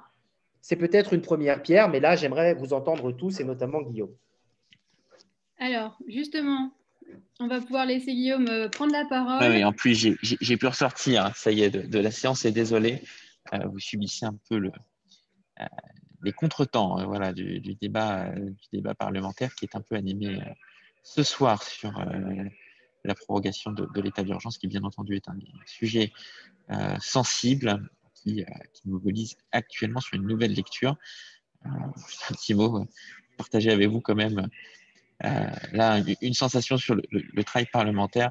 Vous dire que la semaine dernière, nous avions un débat totalement serein sur une première lecture et nous venons en deuxième lecture avec un débat beaucoup plus beaucoup plus tendu, euh, d'où euh, on va dire, l'agenda un peu, un peu perturbé des, travaux. merci beaucoup pour vos questions. Merci beaucoup Aurélien pour la présentation du début. Hein. J'ai pu tout entendre hein, si j'étais dans le dans l'hémicycle pour l'ensemble de ces éléments euh, pas que de, réflexion, mais aussi ces propositions euh, très, euh, concrètes qui font écho aux travaux qu'on mène actuellement sur la proposition de loi du, Grand Paris, je trouve. je retiendrai peut-être quatre points, cinq essentiels qui, font écho aux travaux qu'on poursuit avec, avec PACOM et, et groupes qui, nous accompagnent. Le premier, c'est reprendre un peu la maxime qui est la vôtre, je trouve, dans les travaux qui se dégagent de l'étude que vous avez présentée pour la Fondation Terra Nova, c'est de sortir du débat euh, que nous avons depuis des années sur euh, décentraliser davantage, donc euh, redécoupons, redécoupons les institutions, enfin périmètre des institutions, supprimons les départements, fusionnons telle ou telle structure. Vous proposez quand même de sortir de ce débat qui fait toujours couler beaucoup d'encre pour aller vers le débat du mieux décentralisé. Et je crois que c'est le mot que vous avez utilisé à plusieurs reprises, euh, que ce soit ce soir, que ce soit dans les différentes interviews. Et je pense que c'est une direction que nous devrons prendre. Mieux, mieux décentraliser. Et donc, ça pose de facto derrière une question, un mot que tu as utilisé à plusieurs reprises, qui est clarifions. Clarifions les blocs, clarifions les compétences au sein des blocs et le mode de fonctionnement. Et c'est ce que nous essayons de faire euh, avec euh, cette proposition de loi sur, euh, sur la clarification. D'ailleurs, elle s'appelle, c'est comme ça que nous nous l'appelons, clarification de l'organisation de la métropole du Grand Paris. une clarification que nous tirons de notre expérience d'élus à travers les échanges que nous avons pu avoir avec l'ensemble des acteurs pour voir eh bien, comment sortir d'une situation de blocage pour aller vers une organisation qui fonctionnerait sans tout réinventer, puisque la proposition de loi est courte, euh, trois articles principaux, euh, qui proposent tout simplement de transformer les territoires en EPCI à fiscalité propre, de les faire entrer dans le droit commun, de supprimer la MGP, alors tout de suite couler beaucoup d'encre, mais en réalité pour la transformer en pôle métropolitain. Et ça, on arrive sur le deuxième écho, troisième écho que je trouve par rapport à vos travaux. Donc, mieux se décentraliser, clarifier, contractualiser et avoir les outils de, contractualisation. Que ce soit la contractualisation au sein euh, du bloc intercommunal qui nous concerne sur, euh, euh, sur notre proposition de loi sur le Grand Paris, quels outils de contractualisation? Et là, une question que tu as abordée la première fois qu'on s'est rencontrés, que tu as évoquée ce soir, comment on fait de l'intercommunalité le lieu de pouvoir? Voilà. lieu de pouvoir, lieu de décision, et avec les bons outils de contractualisation qu'il faut trouver euh, dessus. Avec peut-être une question d'ailleurs, je n'ai pas pu te soumettre tout à l'heure, une vraie réflexion sur la DGF, voir comment nous pourrions ou pas généraliser euh, le transfert de la DGF, non pas aux communes, mais directement euh, aux intercommunalités. donc, ça va être le lieu où on définit les, grandes, les grands sujets politiques ensuite ça se décline, et puis bah, il faut les finances qui vont avec pour en faire un, lieu, bien entendu, de, décision qui feront de facto derrière naître les débats politiques, et qui feront que les citoyens s'intéresseront davantage euh, aux, euh, aux inter à l'intercommunalité. Contractualisation au sein de l'intercommunalité, contractualisation, je pense, entre l'ensemble euh, des acteurs et des institutions. Là aussi, c'est ce qui anime un peu, c'est l'idée du pôle métropolitain, c'est qu'il faut sortir de la métropole des maires, et uniquement des maires, et donc d'une métropole avec uniquement une vision communale. Euh, longtemps, j'ai entendu dire la maire de Paris dire euh, le Grand Paris ne se fera pas sans Paris. C'est très vrai. Mais le Grand Paris ne se fera pas sans Paris, ne se fera pas sans les villes de petite couronne, sans les intercommunalités de petite couronne, sans les départements et sans la région. Et J'évoque là les institutions, mais également les compétences qu'elles ont. Euh, comment parler euh, de la construction du Grand Paris sans euh, avoir autour de la table la région qui est le principal acteur sur les transports? Comment ne pas avoir autour de la table les départements qui ont la compétence sociale, qui plus est aujourd'hui dans, la situation de crise que, que nous connaissons? D'où l'idée de ce pôle métropolitain qui est un lieu de construction avec l'ensemble des acteurs, mairie de Paris, l'ensemble des intercommunalités de Petite Couronne, euh, donc les, territoires, les départements, et la région, avec une ouverture, pareil, parce que je te rejoins rien tout à l'heure, tu disais, il faut, il y a des réponses qui sont euh, des questions, des sujets qui sont essentiellement métropolitains sur la zone dense, mais il faut quand même qu'on garde une ouverture sur euh, le limitrophe, le périphérique, tout ce qui va toucher immédiatement notre zone métropolitaine et comment nous échangeons immédiatement avec les territoires, les territoires qui aujourd'hui ne sont pas dans la métropole, mais sont de l'autre côté du trottoir d'une certaine manière, avec des problématiques quasi similaires et des outils différents. Euh, au passage, moi, c'est ces territoires-là qui m'ont convaincu de, qui m'ont fait évoluer sur ma position métropolitaine. Euh, c'était la, circonscription de euh, d'Amélie Monchalin, où elle a une partie de sa circonscription qui est dans la métropole et une autre partie qui est en dehors de la métropole. en me disant, mais on ne peut pas fonctionner comme ça. Et effectivement, faut trouver les bons outils. Donc, en tout cas, voilà, ce point de, de contractualisation. Quatrième écho, bien entendu, la réflexion sur comment, à un moment, donné, et ça, c'est pas dans la proposition de loi, mais ça, ça fait partie de nos échanges centraux, et on y participe déjà d'une certaine manière ce soir, mais il faut voir comment l'élargir encore davantage, c'est la mobilisation des citoyens sur ces sujets, qui ne sont pas que des sujets techno. C'est un sujet de comment on aborde les politiques publiques, donc les enjeux qui nous concernent dans euh, la vie de nos, villes, de nos territoires, euh, comment on, peut mobiliser les citoyens et des réponses qui sont apportées non pas au niveau de la commune, mais au niveau de l'intercommunalité. Prenons par exemple la lutte contre les pollutions. Ce n'est pas à l'échelle de Vincennes, de Fontenay ou de Saint-Mandé euh, qu'on va aborder ça. Et lors des dernières municipales, seule la ville de Paris a abordé ce sujet-là. Donc il faut voir comment emmener, je pense, nos concitoyens. Et là, il, y a, il faut vraiment qu'on ait une réflexion. Est-ce que ça passe par de l'association? Est-ce que ça passe par, Florence, tout à l'heure, tu m'évoquais une pétition sur, sur Avaz. Mais comment on le fait? Parce que aujourd'hui, la réalité, ce n'est pas le cas pour le coup de Paris, je pense et c'est le cas de tous les territoires de banlieue, il y a un très grand nombre de politiques publiques, un très grand nombre d'enjeux qui nous sont confisqués. Lors des dernières élections municipales, il sera pareil au départemental, au régional, euh, nous n'avons pas euh, le débat sur la, lutte contre les pollutions, les différentes formes de pollution. Nous n'avons pas le débat sur les mobilités douces. Euh, nous n'avons pas le débat sur le logement que nous devrions avoir en banlieue, par exemple, sur les rééquilibrages et comment on fait pour arriver à avancer ensemble. Dernier point qui fait écho, c'est la perspective d'ouverture. Bien entendu, notre proposition de loi, euh, c'est une clarification du, Grand Paris. Euh, et on n'a pas vocation à aller plus loin. Par contre, elle a vocation à ouvrir derrière la réflexion sur comment aller beaucoup plus loin, parce qu'il faut aller beaucoup plus loin. Et donc de poser dès le départ la question de la métropole régionale, qui trouverait une réponse très concrète dans la proposition, bien entendu, du renforcement du bloc régional départemental si on avait ce couple région, département, interco, commune. Et c'est ça que euh, nous disons à la fin d'ailleurs du propos euh, introductif liminaire de notre proposition de loi en disant ce n'est que la première étape, euh, que c'est une clarification, mais que derrière doit s'ouvrir une réflexion beaucoup plus importante sur, et là, je n'avais pas cette expression à l'époque, mais c'est celle que je reprendrai maintenant, sur comment mieux décentraliser et voir effectivement comment nous pouvons avancer sur derrière euh, le renforcement du bloc régional départemental pour sortir là aussi euh, bah, de politiques publiques complètement disparates d'un département à un autre au sein de notre région. Il y a des modes de coopération avec les intercommunalités euh, des enfin, le bloc en tout cas complètement différents d'un territoire à un autre. Sur ça, nous devons, nous devons avancer. Pour le coup, le très bon outil qui est devant nous en plus pour aborder ce sujet, c'est la loi 4D.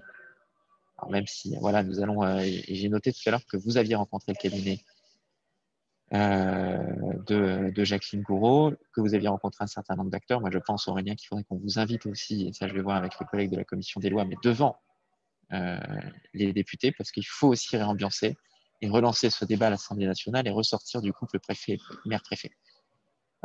Dans lequel nous sommes entrés, on est arrivé au tout début de ce mandat où nous, nous étions plutôt sur des lignes, en tout cas des réflexions qui pouvaient être poussées là, mais je pense que nous n'étions pas dans le mieux décentralisé, nous étions encore dans le euh, quelle couche faut-il supprimer? Quelle couche faut-il redécouper?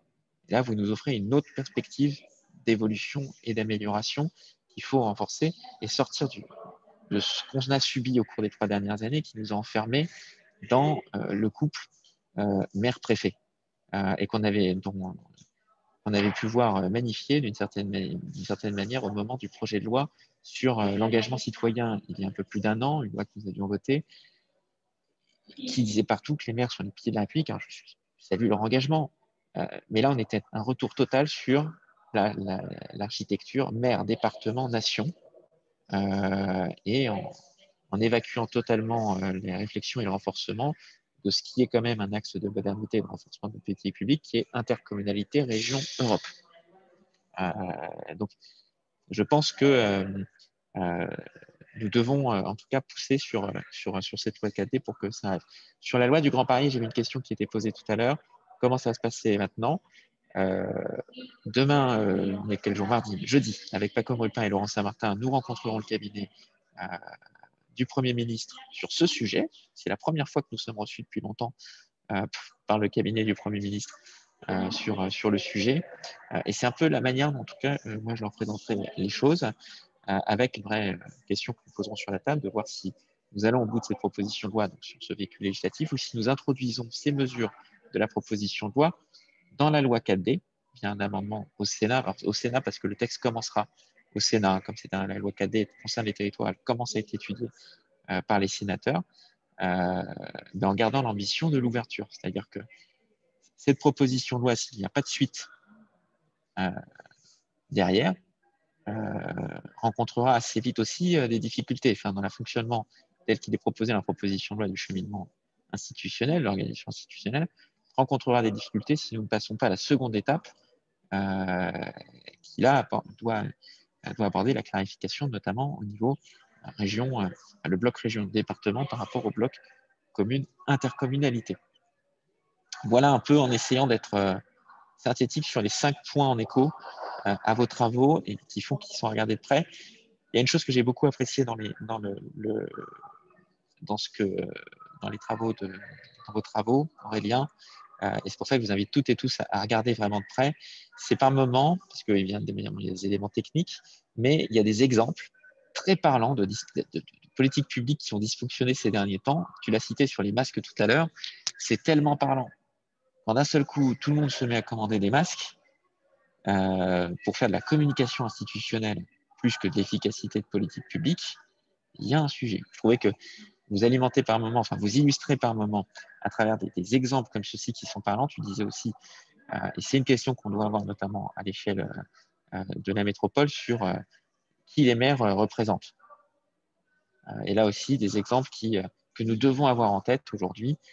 moi, je l'ai évoqué plusieurs fois avec des, avec des maires en disant que c'était quand même malheureux que les gens qui étaient toute la journée sur leur commune ne s'exprimaient pas sur la commune, alors que toute la journée, ils peuvent travailler, utiliser du service public euh, sur la commune où il travaille et peut-être dormir à l'autre bout, dans une autre ville, à l'autre bout euh, de, notre espace métropolitain euh, et ne pas être associé au, on va dire, au moment d'échange démocratique que sont les élections. alors, ça, je pense que la réflexion est un peu plus lointaine pour le moment, mais il faut quand même la garder, la garder en tête. En tout cas, l'élection au suffrage universel direct de l'intercommunalité, pas par fléchage, sera peut-être un des éléments de réponse. Voilà pour les quelques premiers éléments. Merci beaucoup, Guillaume. Est-ce que euh, certains euh, souhaitent euh, intervenir, réagir Je pense notamment à Pierre Mansat ou j'ai vu qu'Olivier Crépin avait également posé une question. Enfin, une remarque en tout cas. je crois qu'on serait tous heureux. On serait tous heureux si Pierre pouvait dire quelques mots parce que il doit se sentir un petit peu comment, à la fois conforté et désespéré parce que ce sont des choses qu'il a portées. Euh, on ne fait que redire quand même beaucoup de choses qu'il a portées depuis 20 ans. Hein, mais... C'est pas, C'est pas gentil de me vieillir comme ça. Euh, T'es déconnecté, euh, Pierre.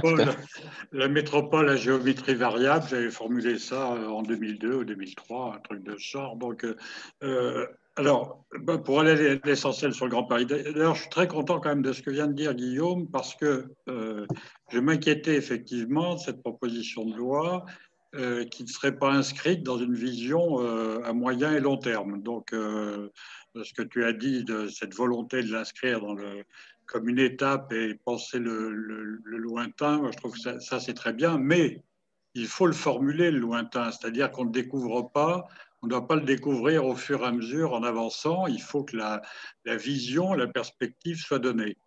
Et je trouve que c'est euh, très compliqué parce qu'on a dans ce Grand Paris, dans la métropole parisienne, une espèce de concentré de tout ce que le rapport d'Aurélien et de Daniel Béard a, a mis en évidence nationalement.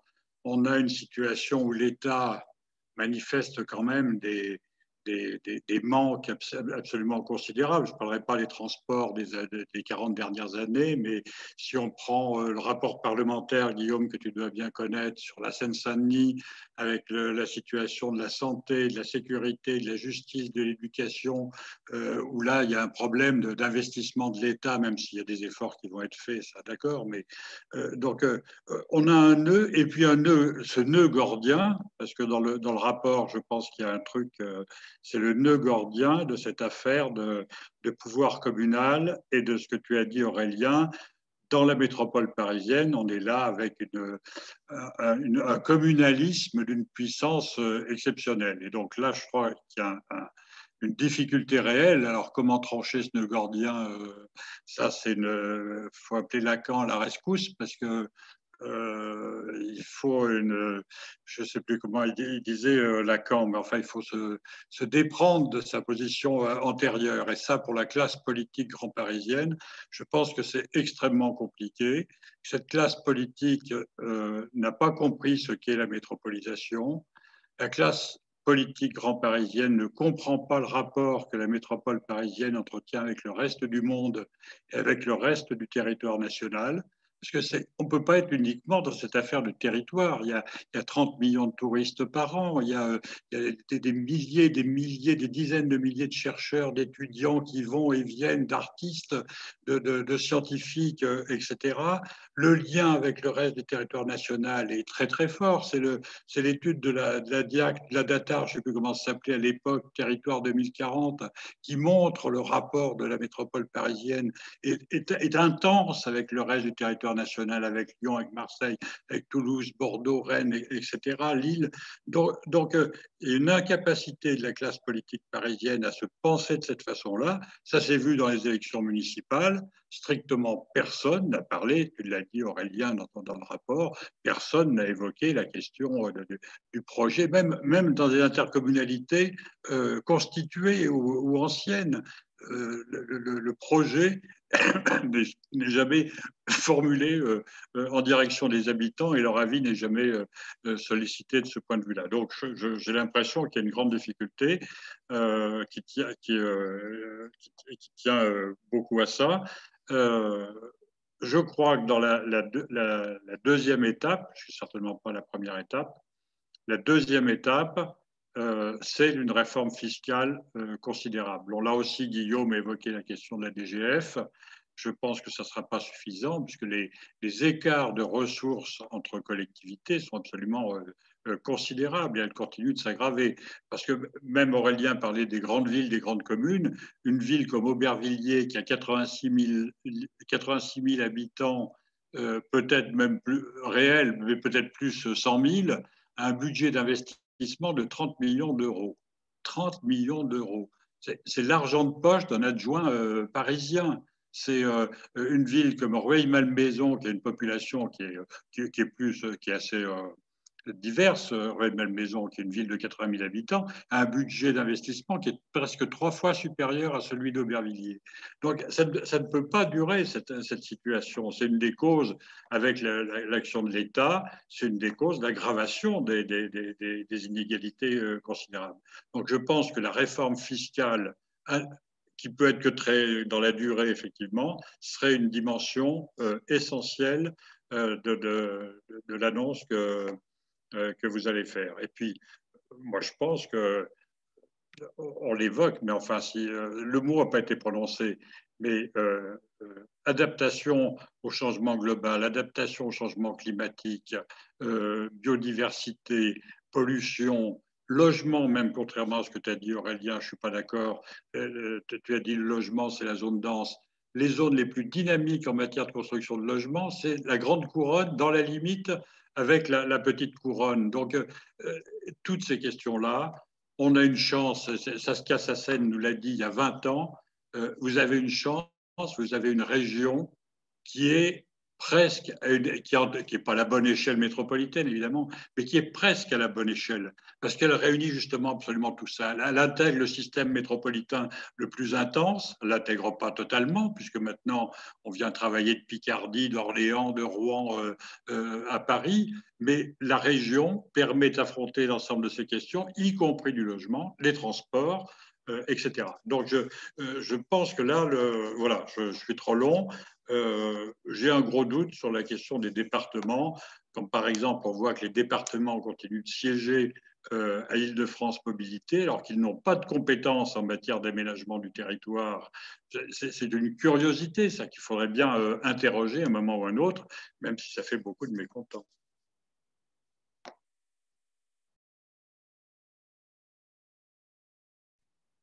Merci beaucoup Pierre hein, pour euh, ces quelques propos particulièrement éclairants. Euh, on va peut-être laisser le mot de la fin à Aurélien parce qu'il est déjà 22h13. Aurélien, peut-être une dernière réaction euh, à, tout cela? Ah, Je crois que c'est déjà très riche et qu'il est, qu'il est un peu peut-être un peu tard, mais moi, mon sentiment aujourd'hui, euh, j'ai plutôt envie d'y croire. Voilà. Alors peut-être que je me trompe. Je trouve qu'il y a des, des, sujets. Quand je vois l'initiative de Guillaume, en fait, euh, qui est de la même génération que moi, euh, voilà. Quand je vois l'écho du rapport Terra Nova, quand je vois aussi ce que continue à porter Pierre, parce qu'il ne le dit pas, mais il, il, anime aussi tout un cercle de réflexion. il manque un petit truc Qu'est-ce qui va nous faire passer à l'étape supérieure? Ça, je ne le sais pas. Mais ce que je voulais dire, c'est que ces sujets, en fait, ils sont mûrs. Moi, je le vois. Et contrairement à ce qu'on dit, ils sont parfois beaucoup plus mûrs. Chez, enfin, ils sont très mûrs chez des gens pour lesquels on ne s'attendrait pas du tout à, ça, pour faire aussi beaucoup d'enquêtes euh, dans le cadre de concertations euh, citoyennes. Euh, je, veux dire, bien souvent, les habitants sont beaucoup plus mûrs que leurs élus. Hein. Euh, euh, ce n'est pas tout à fait une surprise. Mais euh, moi, ce que j'attends, comme tous ceux qui, ont travaillé sur ces sujets depuis longtemps, on, attendait beaucoup quand même hein, du président Macron. Il a peut-être beaucoup de défauts, mais moi, sur ce sujet-là, et Guillaume l'a rappelé, il incarnait, du moins pendant la campagne, le réformisme institutionnel et justement un affranchissement par rapport à la France à la papa, là, etc. Alors c'est vrai que les crises n'ont pas facilité euh, euh, la mise en mouvement, mais là, si vous voulez, moi j'aimerais que tous ensemble, on se dise, bah, voilà, c'est quoi l'étape d'après, c'est quoi la mise en mouvement, il faut que ça bouge, c'est plus possible. On est quasiment au point où, euh, quand Guillaume rappelle cette histoire de masque, enfin, si on ouvre les yeux, sur comment ça fonctionne ou comment ça dysfonctionne, et l'Île-de-France est l'exemple incroyable qu'a rappelé Pierre, c'est plus possible. Il faut qu'on trouve des moyens euh, de mobilisation citoyenne, civique, politique, médiatique. Je disais à Guillaume quand, je l'ai vu, mais moi je suis prêt à aller euh, chez BFM, euh, chez, j'en sais rien, mais il faut qu'on trouve collectivement un moyen de pousser. On n'est pas d'accord sur tout, hein, on est d'accord, mais on est convergent sur le fait que la situation institutionnelle actuelle, elle n'est plus tenable, elle est dans une situation d'impasse, elle ne permet pas de répondre aux grands enjeux, aux grands défis qu'on a tous identifiés euh, ce soir. Alors on fait quoi? On, reste les bras croisés et on, attend un petit peu, façon changement climatique, que la Terre s'écroule? Bon, alors c'est notre responsabilité collective, mais euh, là, je, tends la main vraiment euh, aux, politiques et j'espère qu'on aura l'écho euh, tous euh, que, méritent euh, finalement ces thèmes. Voilà. Et merci beaucoup, merci beaucoup Aurélien, merci beaucoup Pierre, juste avant pour ton intervention. Puis tu n'étais pas là au tout début, mais merci beaucoup pour ton appui et les échanges nombreux qu'on a pu avoir depuis le début de cette législature, très précieux pour eh bien, continuer à avancer, même dans les moments où on a l'impression un peu euh, d'être un peu seul sur, euh, sur, sur le sujet. Euh, en tout cas, nous, on est, un certain nombre à ne pas vouloir abandonner ce sujet. Merci beaucoup, Aurélien, d'avoir accepté ce soir de partager ces travaux, de les mettre dans notre contexte métropolitain, de nous rappeler, comme tu viens de le terminer, mais qu'est-ce qu'on fait maintenant pour bah, aller bouger le politique? Et là, ça fait écho à à ce que disait un peu Pierre tout à l'heure, comment on fait pour aller bouger nos politiques dans l'ensemble de nos territoires et leur faire prendre conscience de ce qu'est la métropolisation, son phénomène et quels sont les, les, enjeux auxquels nous devons répondre aujourd'hui pour demain, mais qui sont aujourd'hui ben, pas pris en compte du fait de notre, organisation, notre organisation institutionnelle. Et ça, il faut regarder ça comme mot de la fin, voir comment eh nous essayer de bouger les choses, remuer les choses, comment on fait pour faire naître ce débat dans, dans le débat public auprès de tous nos concitoyens, quel que soit le territoire, et le porter activement au-delà du cercle, bien entendu, de celles et ceux qui sont dessus et qui y croient, quand on fait tous euh, partie euh, ici, puis comment multiplier bah, les réunions comme ce soir, qui nous permettent, j'en suis certain, euh, toutes et à tous, et bien de rentrer dans le sujet, de développer un certain nombre de propositions, de demain aller en tout cas aller le porter. Et ça, Aurélien, bah, compte sur moi pour continuer.